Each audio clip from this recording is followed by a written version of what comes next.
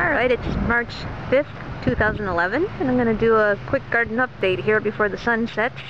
Peach tree's doing good. Peaches are getting bigger. And actually this garden update's going to be uh, a little boring and slow. I planted a bunch of stuff in pots, so there's nothing much to see, but I've got a creeping cucumber in here, uh, an exploding cucumber, which is hopefully will be something cool. Uh, more on that later. And uh, what else? Uh, a horned melon. So hopefully this will be cool. I think it's amazing how the chickens have tilled everything for me. Everything you see here that's brown and sand used to be uh, full of weeds and grass and Henrietta's demanding something. She'll always want something. But yeah, Got the fountain working again, no fish.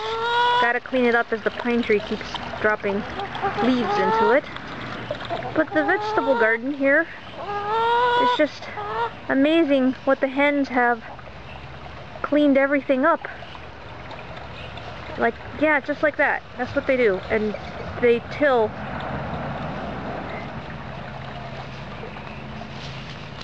So hopefully this year I can finally make this bed into that desert garden I've been wanting.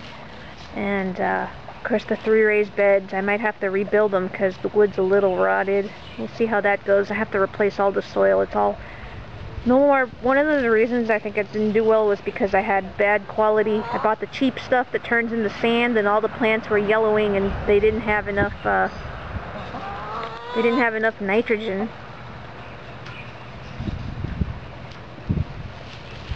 Alright, but now let's go see what I'm really excited about this year. Okay, here we are once again at the arbor, and as you can see, I've got four of the five pots going here. And this is all going to be for gourds. I'm really excited. I've been collecting seeds, and I've got all kinds of neat rare varieties. okay, budgies.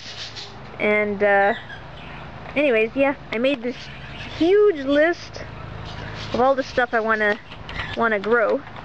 So let's see, in this pot we have, looking at my list, uh, Casa Banana, uh, Indonesian bottle gourd, and then Opo gourd. Opo is a type of uh, Chinese gourd that actually is edible. Hey, get out of there! um, but it's also used for its hard, hard shell, the Opo gourd.